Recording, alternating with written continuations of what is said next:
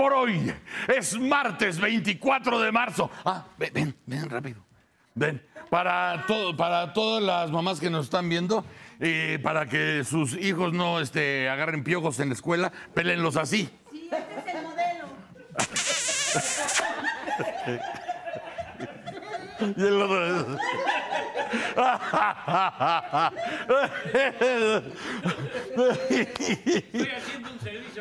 Desde luego y te agradecemos el servicio de la comunidad. Te lo, soy el primero de agradecértelo. Todo el staff se lo agradece. El staff te lo agradece. 24 de marzo. Les cuento que los polis de la Policía Bancaria Industrial apañaron en la estación San Lázaro del metro a dos carnales porque supuestamente le entraban al narcomenudeo. Supuestamente. Los agarraron con más de 8 kilos de marihuana en sus manotas. A lo mejor era para consumo personal. Pero imagínate pues, que a poco tú si te avientas un kilo en un día. No, ya, ya te vi. Sí, sí te creo. Sí. Sí te creo. No me quedo bien.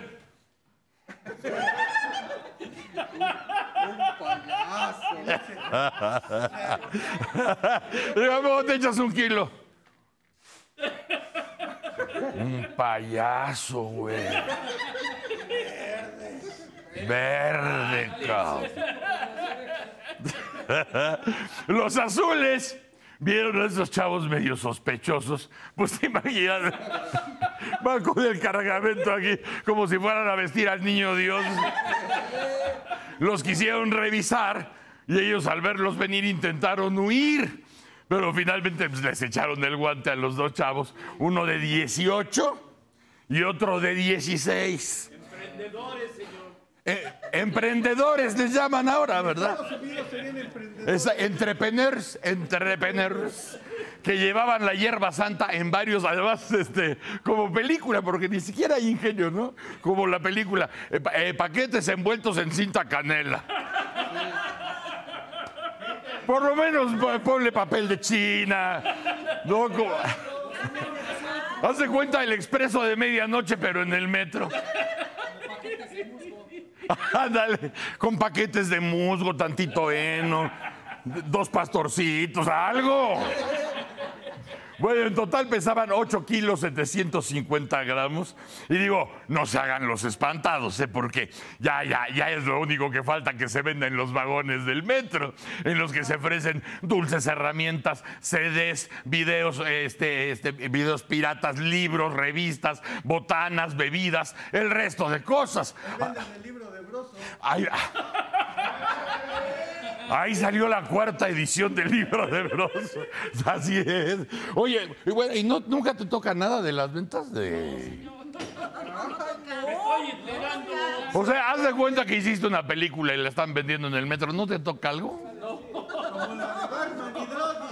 ¿También? Bueno, a lo mejor con el humo de la motita los usuarios podrían aguantar el mal servicio, ¿no? ¿Cómo va? ¿Cómo va, señor? ¿Cómo, cómo va su viaje? Es chido, güey.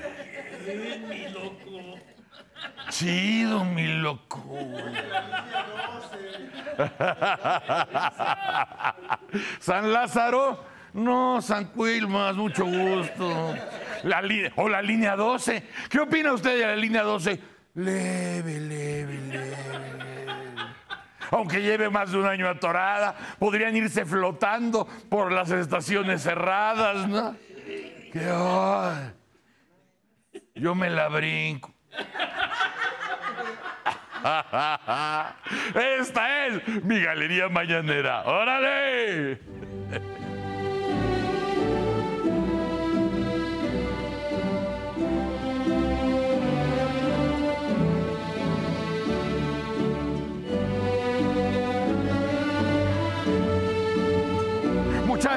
Yo sé que algunos van a sentir mucha ternura con, con esta obra que les estamos ofreciendo en la Galería Mañanera, pero pues en la galería hay de todo.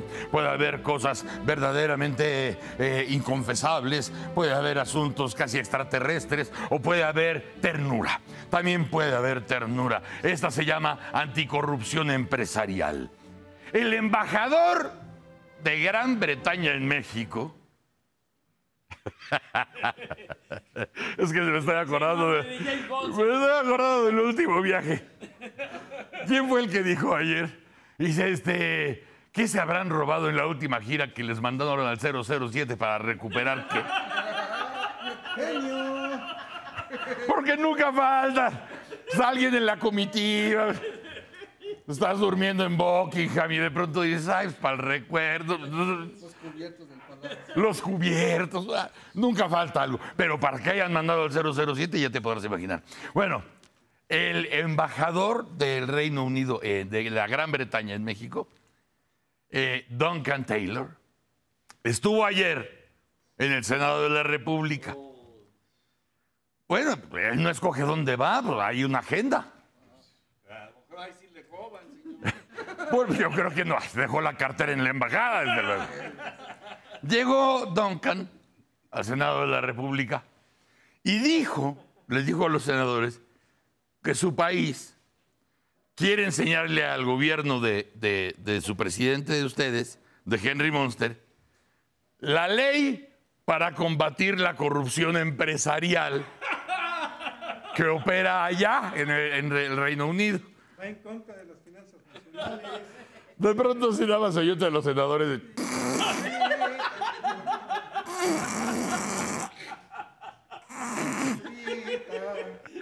El embajador Taylor, pues muy serio, porque pues él va con la voluntad, ¿no? Dijo que esa ley es una de las más importantes medidas para evitar la corrupción empresarial y que tiene una aplicación extraterritorial. Es decir, un empresario británico que quiera hacer malos, este, eh, eh, que, quiera, que quiera hacer negocios aquí en México, está inmediatamente bajo el régimen de la Bribery Act, la ley inglesa que le prohíbe dar sobornos para obtener beneficios comerciales y hasta podría ir a la cárcel en el Reino Unido si viola la ley. Ah, pero allá no vaya, a vender radares. Y de pronto también se vio en la parte de los senadores.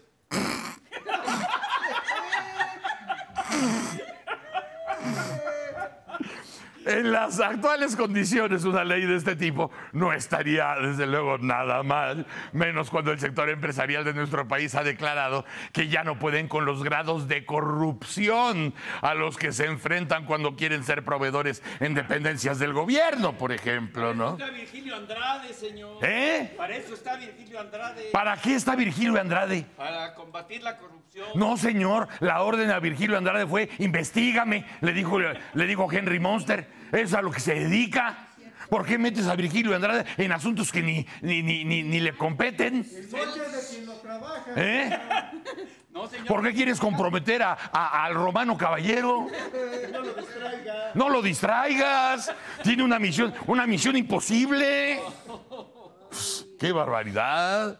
No olvidemos que no solo las organizaciones empresariales, sino también los ciudadanos comunes identifican a la corrupción como uno de los males que provocan retrocesos en el desarrollo del país. Ojalá y que al embajador Taylor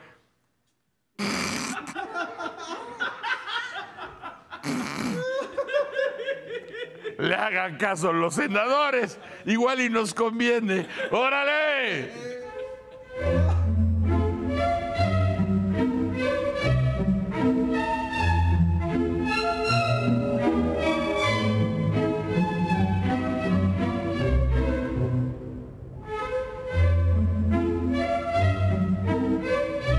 A chorros, a chorros. Hay chorros de calidad en esta galería mañanera y hay un chorro que a lo mejor le puede interesar a usted. Este chorro de arte que se titula Cuídenla. Fíjense, el director del sistema de aguas de la Ciudad de México hizo un anuncio. En tiempo de estiaje no habrá recortes al suministro de agua.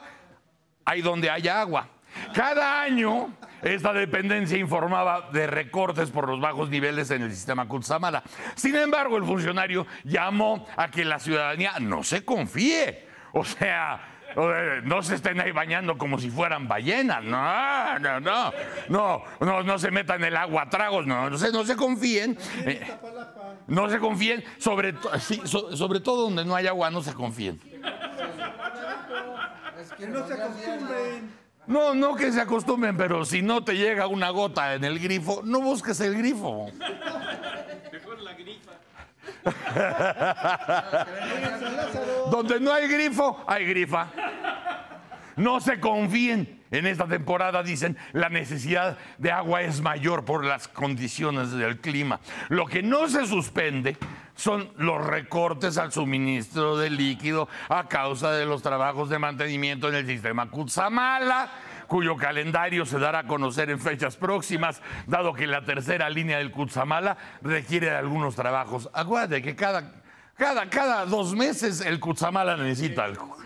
O sea, eh, eh, sa- sale más cara que, que- que- una esposa guapa. Es, eh, el Kutsamala es así. Buena noticia para quienes padecen la falta de agua casi todo el año, ¿verdad? ¡Salud! ¡Órale!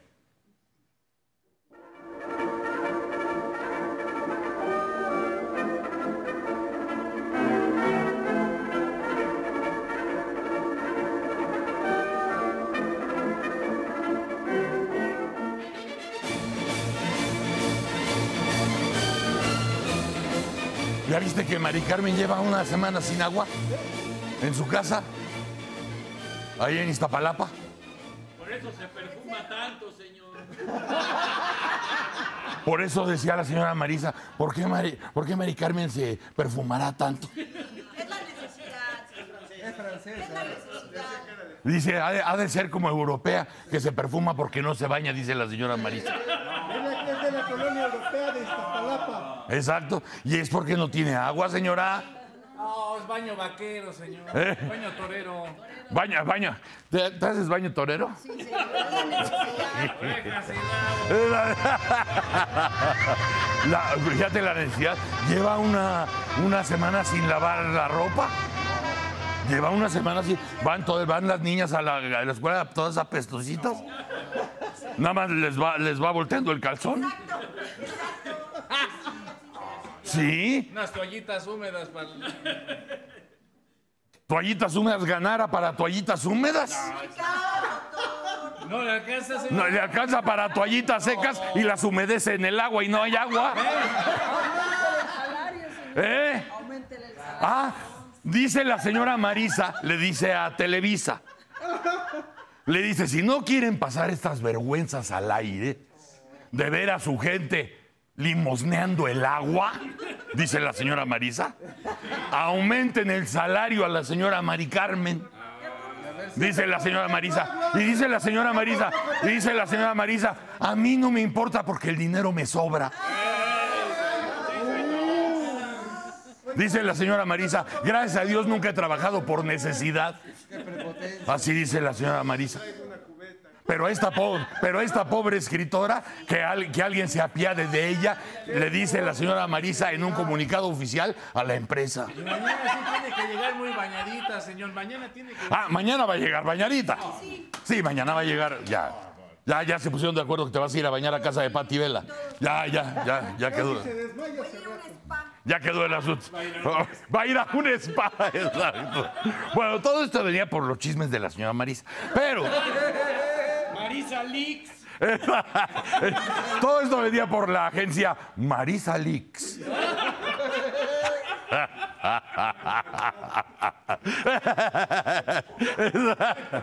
Exacto. Ahorita muchos dijeron, mocos. Esta obra que tenemos a continuación se titula Libre Manifestación. Un juez federal declaró que algunos artículos de la ley de movilidad aprobada por la Asamblea Legislativa, ya saben que algunos asambleístas descubren el cosmos pues cada vez que abren un periódico, por ejemplo. Entonces, este, esto que sacó la Asamblea Legislativa del DF es inconstitucional. Dice el juzgador que esos artículos violentan los derechos de libertad libertad de expresión y manifestación que están gar- están garantizados en un libro que se llama La Constitución. Ellos no lo conocen, señor. Es- Son asambleístas, es lo que le decían al juez. Son asambleístas. Apenas, apenas si leen. O Le, le dijeron al juez eso.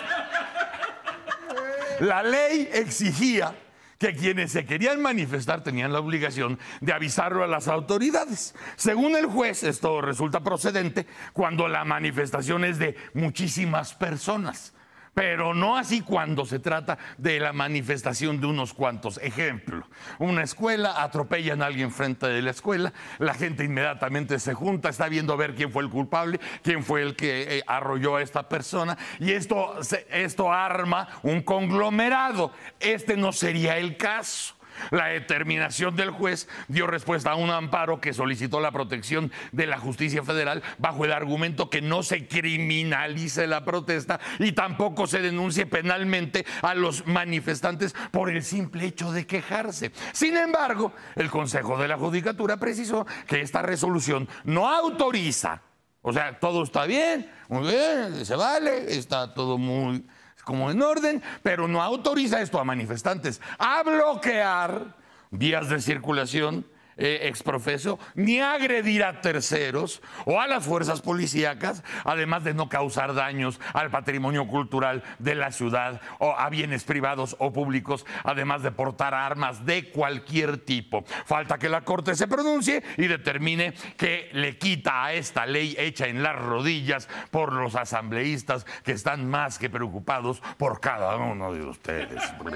¡Órale! Chamacos, en este momento 6 de la mañana con 47. Estamos transmitiendo desde Foro TV. El mañanero está al aire y por hoy nadie lo puede remediar. ¡Órale!